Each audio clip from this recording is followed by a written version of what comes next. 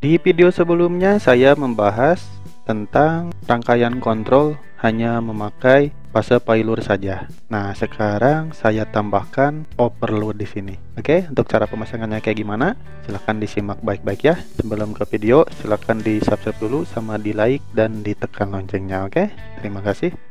Oke, di sini jadi ada satu buah rangkaian kontrol sama satu buah lagi rangkaian pengawatannya yang di mana di sini untuk pemasangan rangkaian kontrol yaitu dari MCB sini.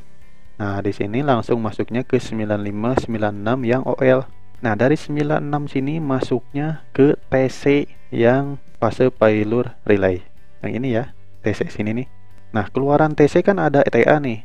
TCTA ini adalah NO sedangkan TCTB adalah NC nah kita ngambilnya yang TA aja yang NO nah yang TA ini yang ini masuk ke stop yang nomor satu dan dari stop masuk ke setar dari setar masuk ke K1 dan seperti biasa si K1 ini perlu yang namanya pengunci yaitu 13 dan 14 yang ambil dari setar setelah itu dari A2 masuk ke netral atau ke 0 untuk pengawatannya di sini masuknya dari RST masuk ke MCCB 3 fasa selanjutnya nah di sini nih untuk masuk ke relaynya yaitu dari R masuk ke L1 dari S masuk ke L2 dari T masuk ke L3 harus kayak gitu ya urutannya ya.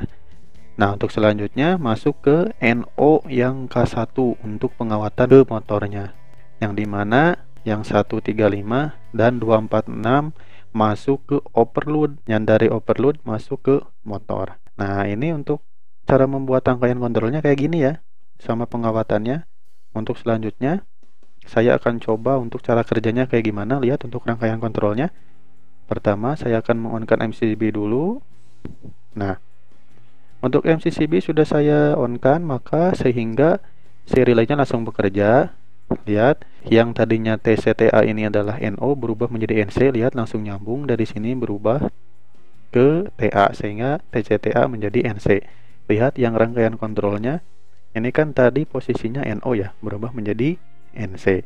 Untuk selanjutnya, saya akan mengonkan MCB yang satu pasar. Lihat, saya onkan. Setelah itu, saya akan menesetar si kontaktor ini sehingga nanti kontaktor ini akan bekerja. 321. Nah, kontaktor ini sudah bekerja, maka si 13 ini mengunci dan NO ini berubah menjadi NC sehingga mengalirkan arus dari RST ke motor dan motor pun berputar. Nah, gitu ya cara kerjanya ya. Hanya simple aja sama gitu kayak yang video kemarin. Tetapi di sini saya tambahkan overload di sini nih 9596 dan overload di yang ke motornya sehingga di sini pengaman motornya ada dua yaitu yang fase failure relay dan overload. Oke. Okay? ini benar-benar aman nih kalau rangkaian kayak gini untuk ke motornya nah sekarang saya akan coba kita coba salah satu yaitu contohnya terjadi under voltage. Maka si motor tersebut akan mati. Karena si relay ini bekerja dan memproteksi adanya under voltage sehingga rangkaian kontrol ini mati. Kita lihat 321 nah Si relay ini memproteksi sehingga balik lagi dari TC ke TA-nya menjadi NO. Nah, lihat di sisi kontrolnya, TC TA-nya berubah menjadi NO sehingga mematikan rangkaian kontrol ini dan mematikan motor ini sehingga motor ini tetap aman.